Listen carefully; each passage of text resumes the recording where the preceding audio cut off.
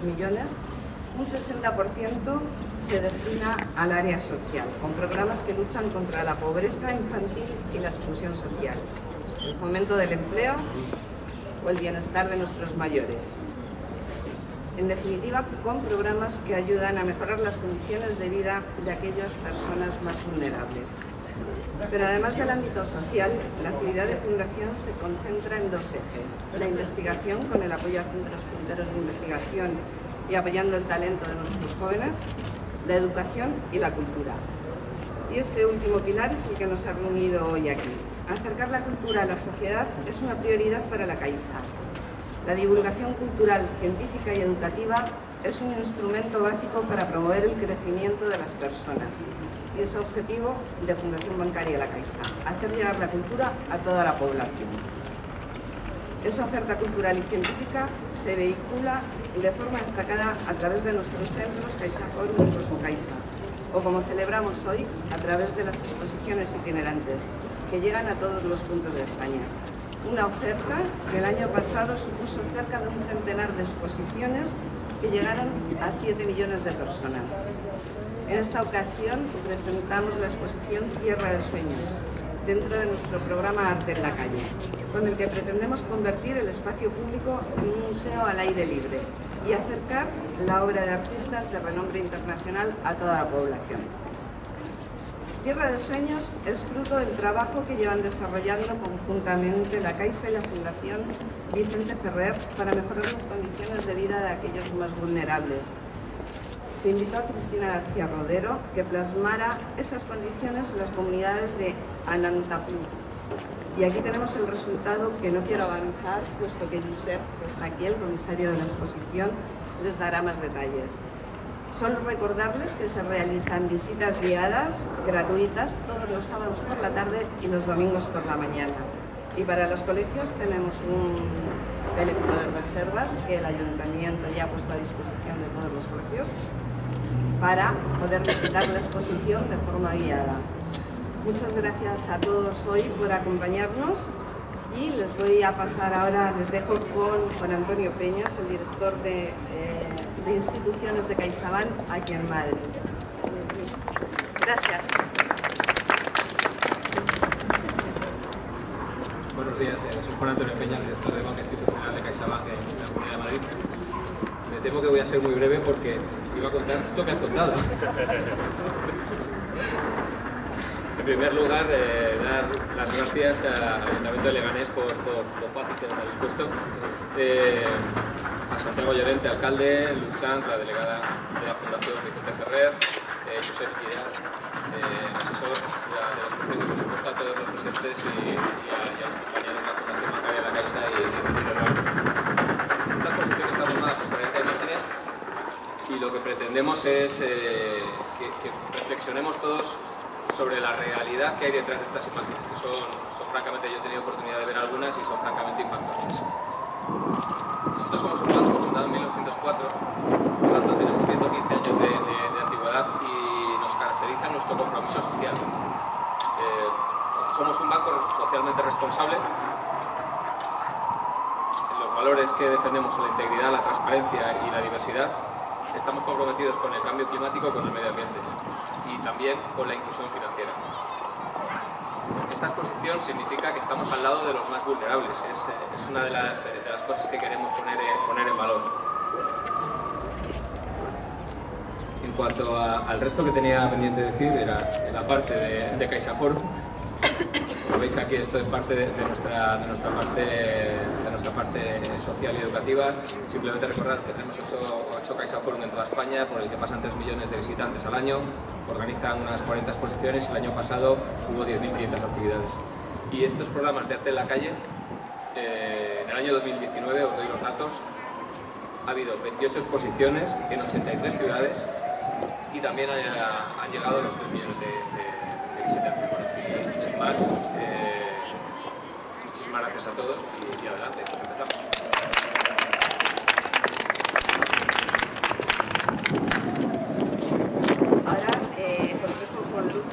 que es la responsable de la Fundación Vicente Ferrer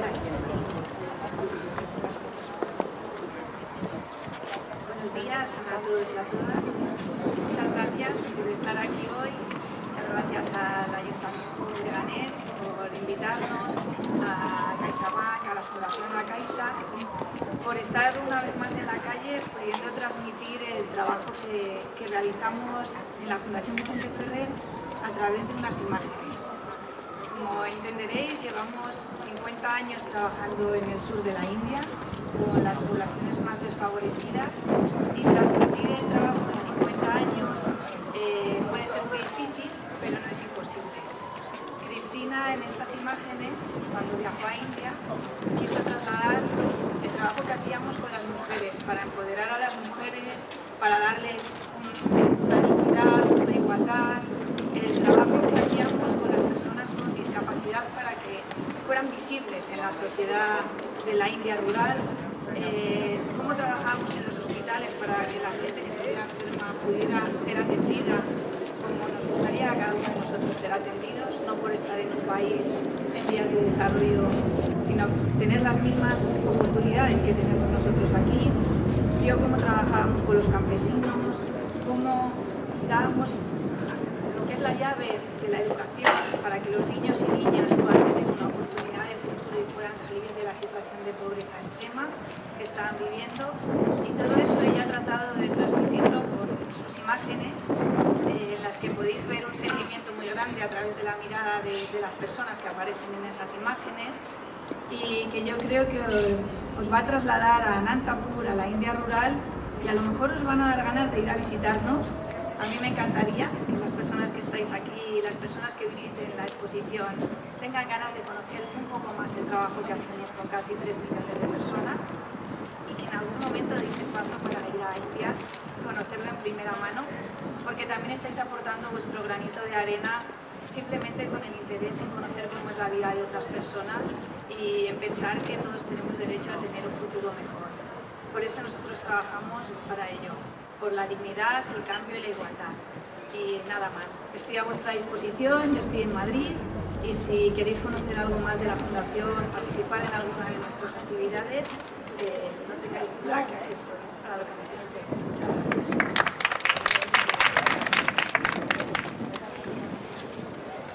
Y ahora vamos a dar paso a Josep Giral, eh, comisario y asesor de esta exposición. Hola, eh, hoy nos encontraremos eh, con esta muestra fotográfica de una eh, fotógrafa singular, muy especial, la única, de hecho la primera fotógrafa que formó parte de la agencia, de la agencia Magnum y tal y como comentaba la delegada de, la Fundación Vicente Ferrer, lo que ha hecho Cristina, ha estado durante 45 días en Anantapur, y lo que hizo es visitar hospitales, centros de acogida de menores, centros de, niños, de, escuelas para niños con discapacidad. Lo que hizo ella fue una visita realmente meteórica de 45 días y, aprendió mucho, a pesar de que Cristina aparentemente tenga ya muy poco que aprender. De hecho, aprendió mucho de las personas, eh, eh, se encontró con un clima eh, completamente diferente al que estaba acostumbrada, más que con un clima, con una luz eh, que, hizo que su trabajo eh, fuera mucho más complicado.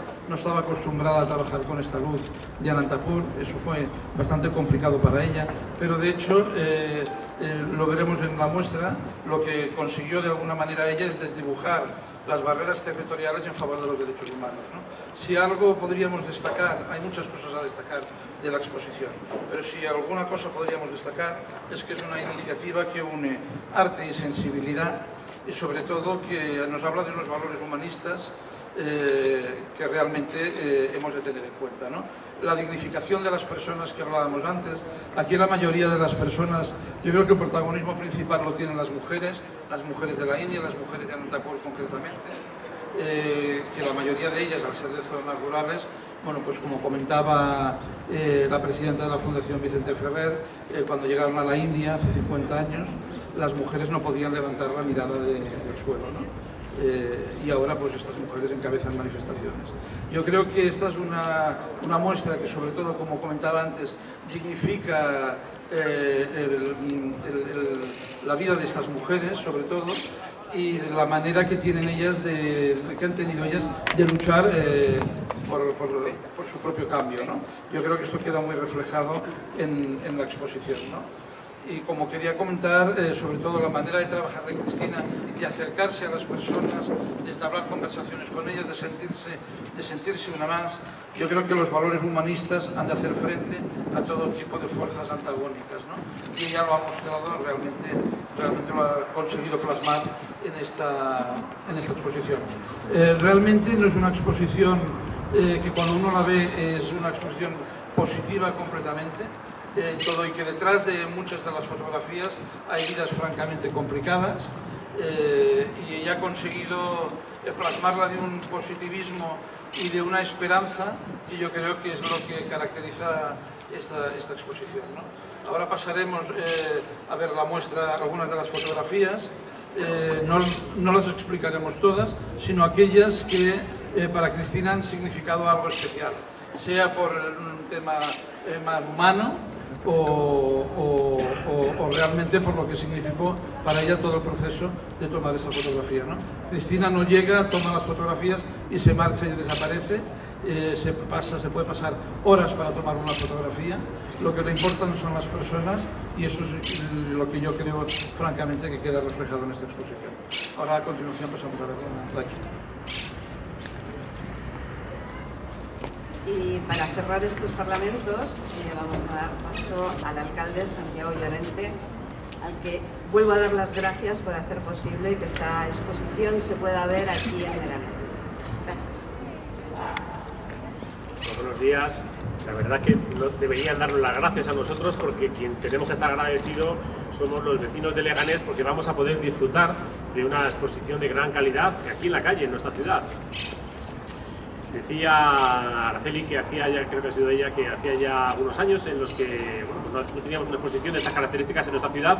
Y es verdad que, que veníamos de una tradición en la que la Fundación La Caixa nos había, bueno, eh, había programado dentro de, bueno, pues de las diferentes actividades que hace aquí en nuestra ciudad eh, por diferentes exposiciones, todas ellas magníficas, todas de gran calidad y la verdad que, es verdad que es cierto que, las, echábamos de menos.